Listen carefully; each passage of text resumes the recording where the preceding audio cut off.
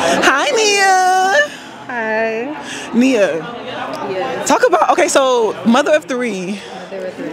Why was you? Why was you a little late coming? Well, for one, my daughter graduated, Aww. so she's moving into the real world. So I had to be there for that. Yeah.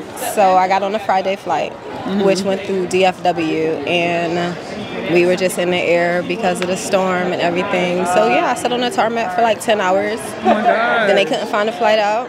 Yeah. And yeah, eventually I just stayed in the airport all night and called a flight to Portland this morning. Got to Portland at 9:30, drove from Portland, got here. Oh my gosh.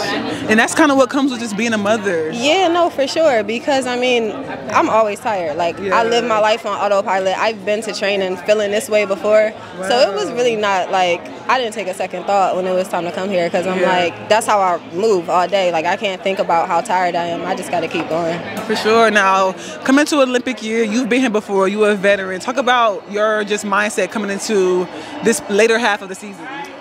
So I'm really excited about this next training block Okay. because I had a little knick-knack after I opened up and everything, and my training was going really well. So I'm I'm happy to like get some solid training in. I have maybe like two or three more meets coming up, so I'm just gonna grind that out, train through, and get ready for the trials. I mean, like you said, like I've been on this stage a lot, so I know what to expect. It's gonna be hot, but like I'm super excited for like the fast times. Yes. Because you experienced. Yeah, yeah, yeah. No, for sure. Like, we go down there now, we all just laughing it up. Like, Yeah. because you already know, like, you can't take it personal. Any given day, any of the lanes gonna win. Mm-hmm. So, like, I was just, we was talking to Alicia back there, and she like, we need to do like a big group training camp so we No, can run 11. Like, that's how we gonna run 11. But like, for real, Yeah. because we bang it out all the time. We not ducking, we not running. So like, why not? Yeah. So yeah, for sure. I love that idea. We need to Yeah. speak that up. Y'all, need- y'all heard that, right? Let's let's make it happen. Get us a the good hurdlers want it. They want it. Hit up Lay. Yeah. Know, she gonna coordinate everything, and we gonna get lit. Period.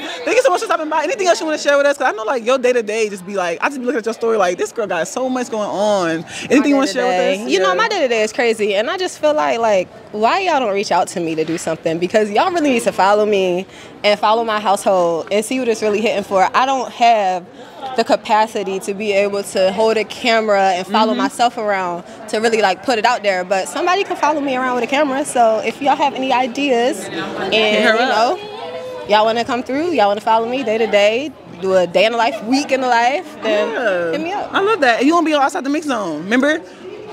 I love that idea. Okay. First of all, you killed it. Thank you. No, sis. you killed Thank it. you. So let's Thank do that. You. We gonna do yeah, it. We gonna do it. So that's gonna be number one. And y'all need to Okay, come hit her okay, up okay, and, and she needs that stuff. Period. Give her what she wants. I love you so much. Thank you for stopping by. Tell your kids I say